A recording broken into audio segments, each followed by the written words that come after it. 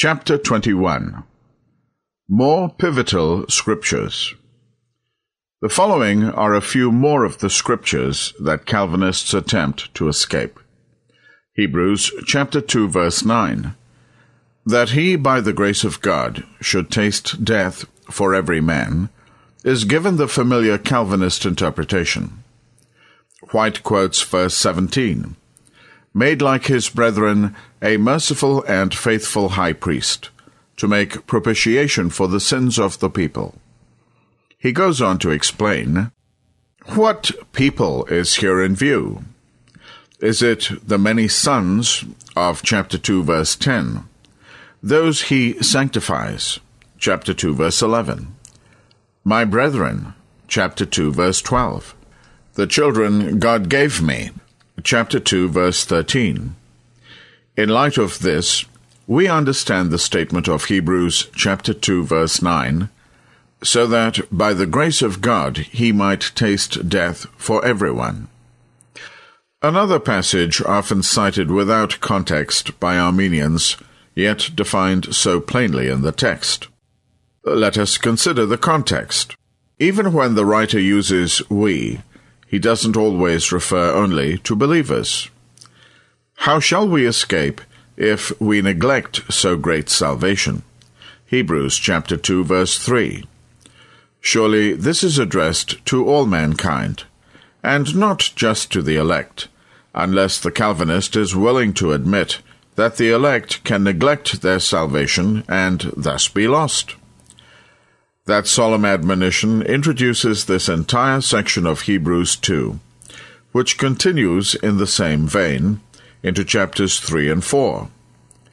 Readers are given numerous warnings and exhortations to hold fast to the faith and not to harden their hearts, lest they perish like the children of Israel perished in the wilderness through unbelief.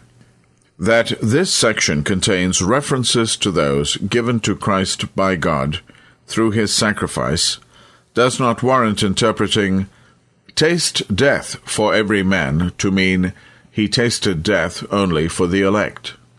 Undoubtedly, the entire epistle is addressed to believers, as are all epistles and the entire Bible, but much is also said both to and about the unsaved.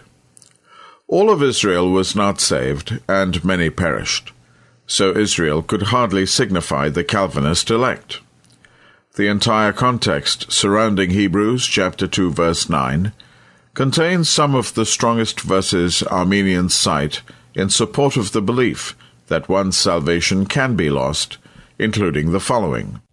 Today, if ye will hear his voice, harden not your hearts.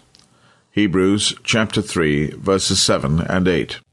Take heed, brethren, lest there be in any of you an evil heart of unbelief, in departing from the living God. Hebrews chapter 3 verse 12. For we are made partakers of Christ, if we hold the beginning of our confidence steadfast unto the end. Hebrews chapter 3 verse 14. Let us therefore fear, lest, a promise being left us of entering into his rest, any of you should seem to come short of it. Hebrews chapter 4 verse 1. They to whom it, the gospel, was first preached, entered not in because of unbelief. Hebrews chapter 4 verse 6.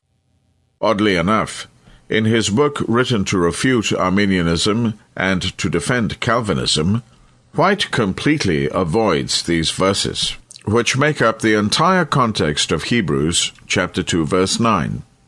And he does so in the process of chiding Arminians for avoiding the context.